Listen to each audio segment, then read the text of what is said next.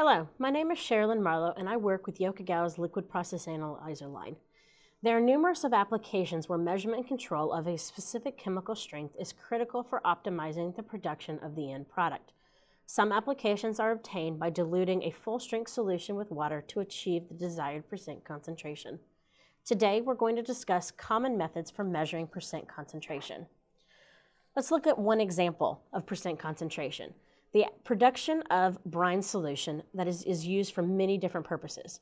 Brine solution can be used anywhere from in your household to prepare food for cook before you cook it, or within industrial processes such as food and beverage manufacturing, refineries, textile dyeing houses, secondary coolants and refrigeration systems, and chemical plants. Brine is also used in municipalities for commercial use as a final product applied to pavements, roadways, and um, parking lots for as a de-icing or an anti-icing agent. Depending on the use, the desired concentration can vary as well as the starting element itself. So traditionally, when you think of brine or salt water, you think of sodium chloride or NaCl being used. However, sometimes the salt being used uh, to create the brine solution itself is not always pure sodium chloride. It can be a mixture of different chlorides like calcium chloride, magnesium chloride, potassium chloride. Different chemicals come together. Today, we're going to briefly talk about the main various measurement methods used to determine salinity or percent saturation for our example and how each differs and what negative effect each has itself. So let's start with a hydrometer. What is a hydrometer and how does it work? A hydrometer only measures specific gravity by comparing the ratio of the measured liquid's density to that of water. The hydrometer makes use of the Archimedes principle, where a solid suspended in a fluid is buoyed by a force equal to the weight of the fluid displaced by the submerged part of the suspended solid. So the image shown here is a hydrometer in a solution with a float being submerged in a solution. The stem is calibrated to a certain solution to give a numerical reading. So it's basically a mouthful, but this is what it, how it works. So the most critical thing to look at is temperature must be at the same temperature that the hydrometer is calibrated to. Otherwise, the readings will be off. So you're going to slowly uh, lower the hydrometer into the measuring vessel where the theoretical reading will be. Before you release it, you're going to twist it slowly so it spins. This ensures that no air bubbles cling to the hydrometer that would cause it to therefore float higher than it normally would. The test cylinder has to be level if the hydrometer cannot touch the other sides. Once you've done that, you gently press the hydrometer down a little bit more than the reading will be and allow it to float back up and settle out on its own. Then the reading can be taken at the point where the hydrometer stem floats in the liquid itself. All right, so first let's take a moment and look at the hydrometer's um, pitfalls that we may come across. One, hydrometers are calibrated for different uses, so one has to be cautious to use the correct device for the correct measured solution. The accuracy depends on the resolution of the device itself. Another thing, hydrometers are not temperature compensated and the measurement is temperature sensitive. Compensation has to be considered for the measuring solution has to be at the same temperature that device is and accurately calibrated to. Otherwise, errors in your readings will be given. If air bubbles are trapped within the system, they can cling to the hydrometer, causing it to float higher than it naturally would, giving you a false reading. Also mentioned before, proper test setup has to be done and a reading level is imperative to ensure accurate measurements. If a hydrometer is touching the sides of the measuring vessel, it will cause errors in the measurement reading itself. Another thing to be cautious of is your fingerprints on the lower portion of your hydrometer can also affect the accuracy by interfering with how the solution interacts with the glass. Most commonly, hydrometers are easily misread. The measuring vessel has to be level, and you also have to know how to read them. Look at the image shown here. Is the proper reading 980 or 982? It's actually 982. To read a hydrometer, you have to look at the intersection of the horizontal liquid surface and the stem not at the point where the liquid touching the hydrometer. So therefore, they can be easily misread if you yourself do not know how to read them. So now what is the difference between a hydrometer and a salometer? A salometer is also called a salinometer or a salometer, depending on how you say the word or how you read the word. This basically is a specifically graduated hydrometer that directly indicates the concentration of salt in a solution by measuring the liquid density of the solution. Therefore, all of the problems or pitfalls that you have with a hydrometer are true for a salometer as well. Basically, a salometer is commonly used to show the percent saturation of brine. So in our example, we're going to show you this one as well. You can read the concentration on the device by a relationship between the depth and the concentration. You must reference a concentration table, such as the one shown here, specifically for the solution that is being measured. So again, all of the pitfalls that we had with hydrometers, we have with salometers. They're measured for or they're measured and manufactured for specific liquids. Therefore, they're only correct for the liquid that they are made for. So if you use them in mixed match solutions, you're going to get inaccurate readings. We mentioned before with hydrometers that the accuracy uh, depends on the resolution of the device. To explain this a little bit more, a salometer with a higher resolution has a smaller usable range. So meaning a meter that covers a 0 to 27% range is not as accurate when you're trying to measure in that um, saturation point of a brine solution, for our example, versus one that has a range of 23 to 27. So a smaller range has larger accuracy. These are not temperature compensated. Therefore, the brine mixture sample has to be at the same temperature that the comparison table and the device is calibrated to. Again, air bubbles being trapped, which can easily happen within the system, will affect your readings. Again, the proper test setup, making sure that your reading is level, is imperative to ensure you're getting an accuracy, accurate measurement. So now, sometimes you may hear the word salinometer. So since salinity itself affects both the electric conductivity and a specific gravity of a solution, a salometer often consists of an EC meter and a hydrometer in some means of converting those readings to a salinity reading. So it takes a man-made, man-interpreted hydrometer, takes it to the next level. So what is a refractometer? This is our third commonly used measurement principle.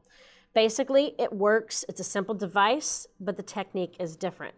Um, it works on a principle of a refractometer. Basically, you bring a drop of liquid onto the glass and place it with a lid and a lens on a defined space um, on top of that liquid drop that you put on there. A light source is then put through the drop, and by changing the focus of the device, you can see a sharp, what we call breaking front. The way of the changing the focus is then relation to the breaking index of a liquid. The concentration of the salt or the solution results in different breaking index. So these are commonly used in the field for salinity or specific gravity measurements of brine. And basically each chemical or each process has a different breaking index. So for those of you that do not know what a breaking index is, um, like I said, there is a different breaking index for every type of liquid. So every chemical balance has its own relationship between this refractive index and its concentration.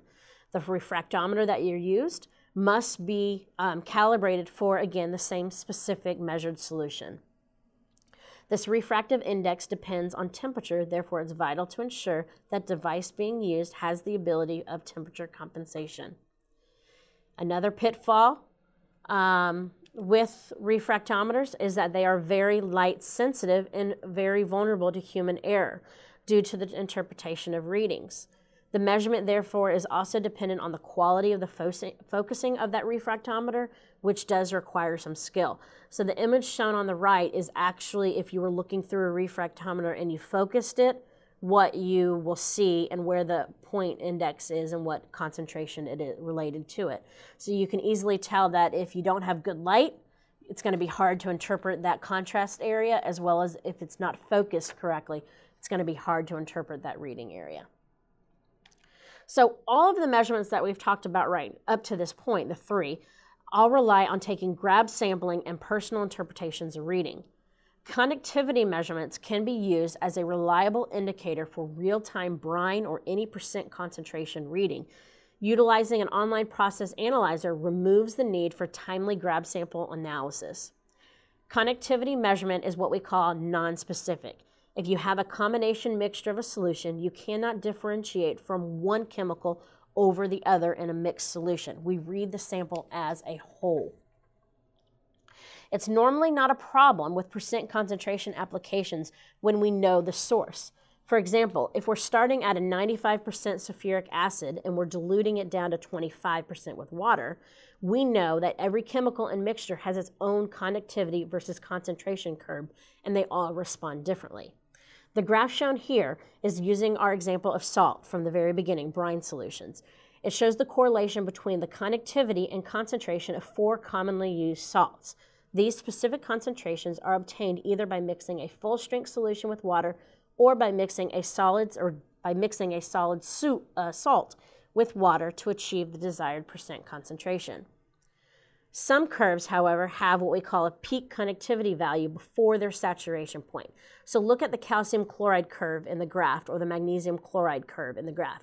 They actually go up, they peak, and then they come down before a solution is fully saturated. So basically what this shows is that conductivity will respond one way up to the point.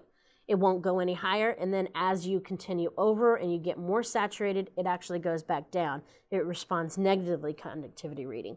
So we just have to be cautious if we're going over one of these curves to know where we are in relation to this curve. Because you have two different readings, like look at that magnesium or the calcium chloride, the green curve, you have a reading of 15% and roughly probably about 31% have the exact same conductivity reading, but two different concentrations.